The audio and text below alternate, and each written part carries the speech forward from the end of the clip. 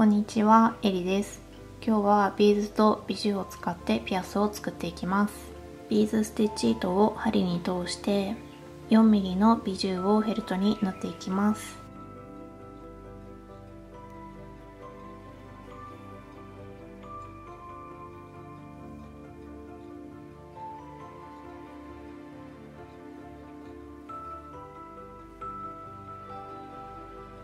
2mm のビーズをフェルトに縫っていきます。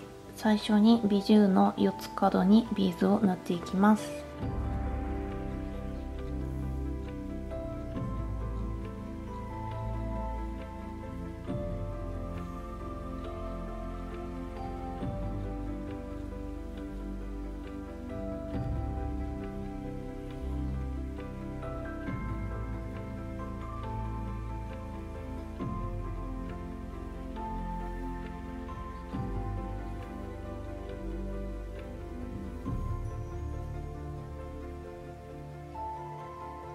ビジューの周りを四角にバックステッチしていきます。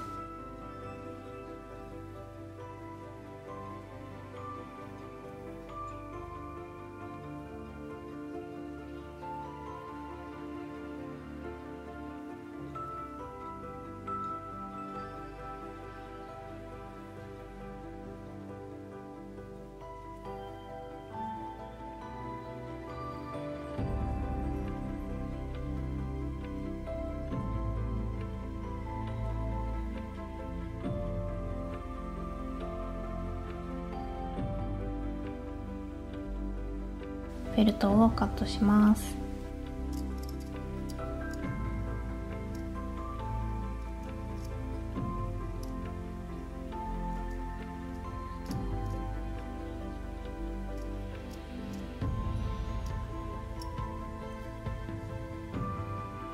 裏地をカットします。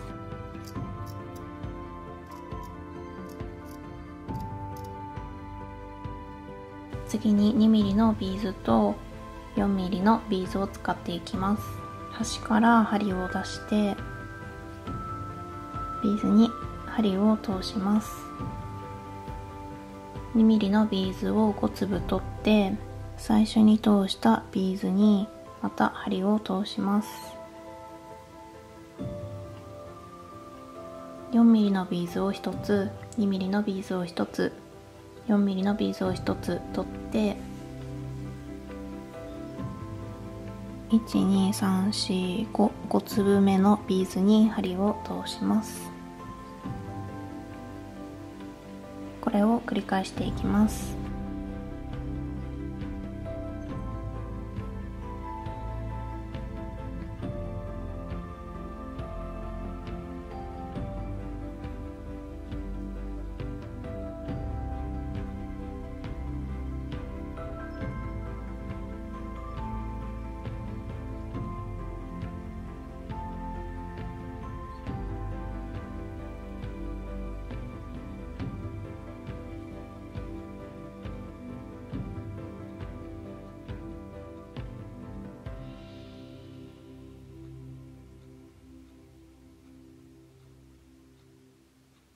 糸が緩まないようにしっかり糸を引いて裏で玉留めをします。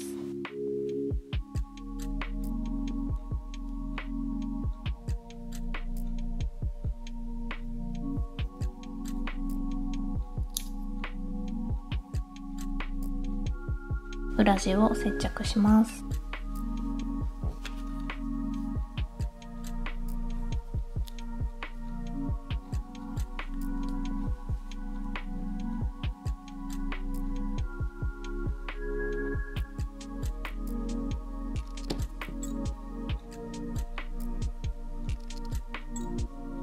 次にピアス金具をつけていきます。